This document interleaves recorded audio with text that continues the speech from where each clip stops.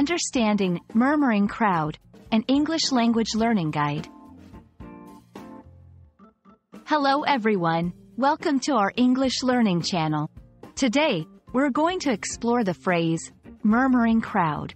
This phrase is not just about the words, but also about the imagery and context it creates.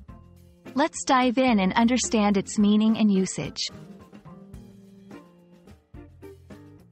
Murmuring crowd is a two-word phrase where each word plays a significant role. Murmuring refers to a low, continuous sound, often like soft voices or whispers. It's not loud or clear enough to be easily understood. On the other hand, crowd means a large group of people. So, when combined, murmuring crowd depicts a large group of people making a soft, indistinct sound.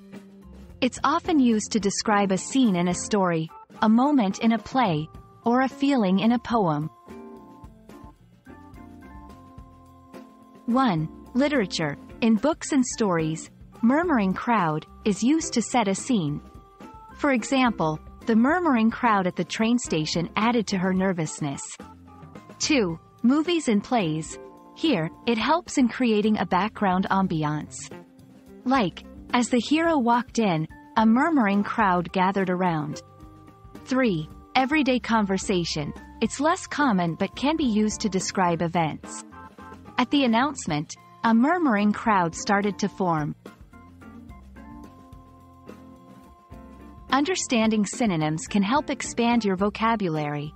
Similar phrases include whispering crowd, buzzing crowd, muttering crowd, each of these has a slightly different connotation but serves a similar purpose in language.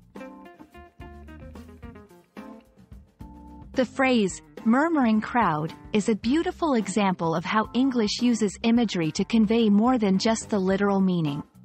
It's about setting a tone, a scene, and evoking a sensory experience. I hope this video helps you understand and use this phrase more confidently in your English conversations.